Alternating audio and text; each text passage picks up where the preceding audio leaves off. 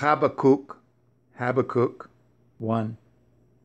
The burden which Habakkuk the prophet did see. O Yahweh, how long shall I cry, and you will not hear?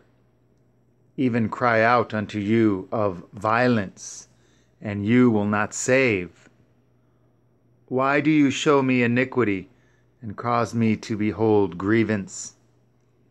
For spoiling and violence are before me, and there are that raise up strife and contention. Therefore, the Torah is slacked, and judgment never goes forth. For the wicked compasses about eth the righteous. Therefore, wrong judgment proceeds. Behold, ye among the heathen, and regard and wonder marvelously. For I will work a work in your days, which ye will not believe, though it be told you.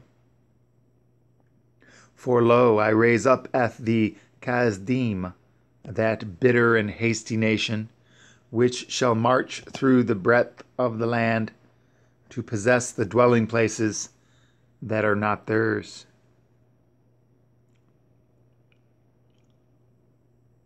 They are terrible and dreadful.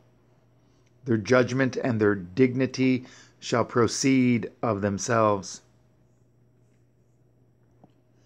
Their horses also are swifter than the leopards, and are more fierce than the evening wolves.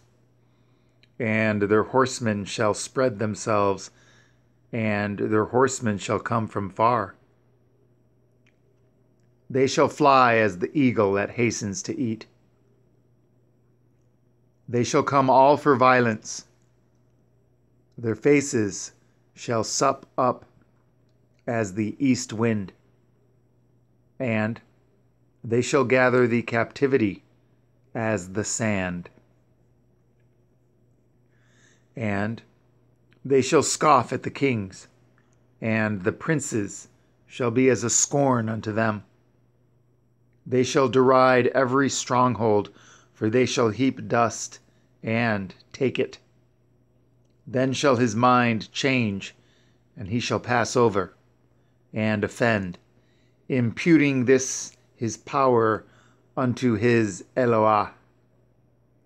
Are you not from everlasting, O Yahweh Elohai, my Holy One? We shall not die, O Yahweh, you have ordained them for judgment. And, O mighty Elohim, you have established them for correction.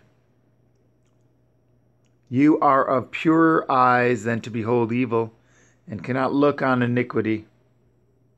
Wherefore, look you upon them that deal treacherously, and hold your tongue when the wicked devours the man that is more righteous than he, and make men as the fish of the sea, as the creeping things that have no ruler over them. They take up all of them with the angle. They catch them in their net and gather them in their drag. Therefore they rejoice and are glad. Therefore they sacrifice unto their net and burn incense unto their drag. Because by them their portion is fat and their meat plenteous. Shall they therefore empty their net and not spare continually to slay the nations?